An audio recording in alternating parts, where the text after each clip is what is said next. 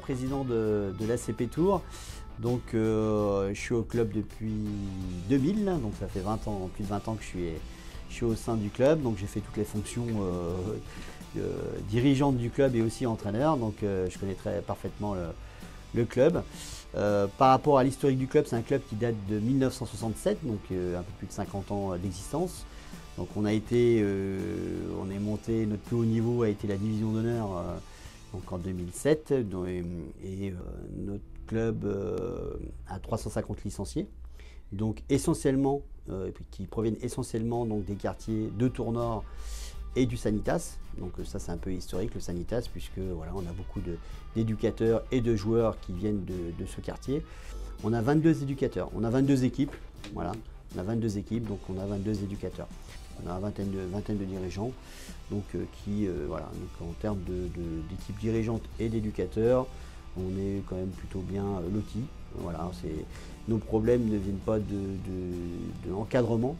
même si bien sûr on, forme nos, éducateurs, on préférerait aussi d'avoir que des, que des éducateurs formés, mais en termes de. Il y a quand même une certaine dynamique au niveau des éducateurs, et j'en suis très content. Et aussi une dynamique au niveau des jeunes. Alors il faut savoir que depuis 2016, en 2016, nous avions 146 licenciés et euh, on est passé l'année d'avant à 330 licenciés pour arriver aujourd'hui à 350 licenciés. Donc on est plutôt sur une dynamique euh, très importante.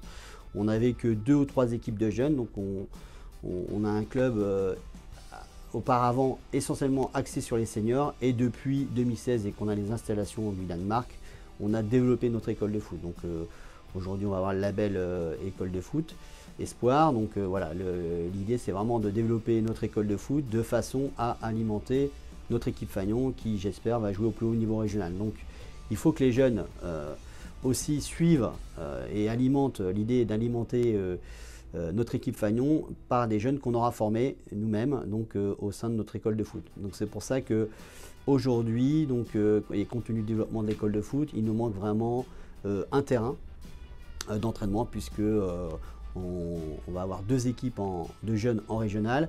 On a notre équipe Fagnon qui est en régional, donc euh, ça va nous demander aussi euh, euh, bah, des entraînements supplémentaires sur les installations du Danemark et on n'a qu'un seul terrain pour l'ensemble des, 22 équipes. Donc le week-end c'est très compliqué d'organiser aussi des matchs le week-end.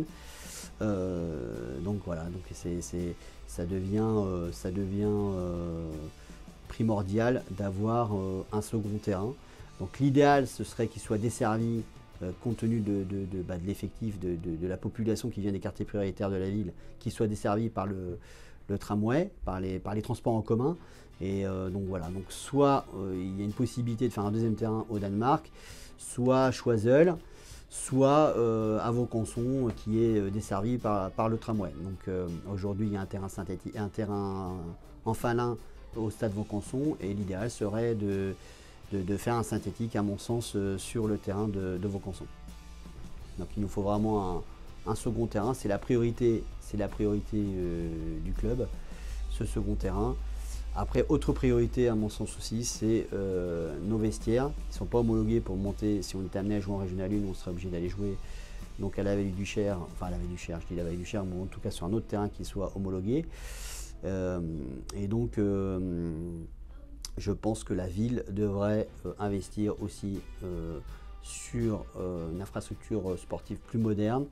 en termes d'image aussi au niveau de la ville, voilà, d'avoir un club Fagnon sur Tour Nord qui, représente plus de 40 000 habitants, ça serait pas, voilà, ça serait pas incohérent d'avoir une petite tribune avec des nouveaux vestiaires.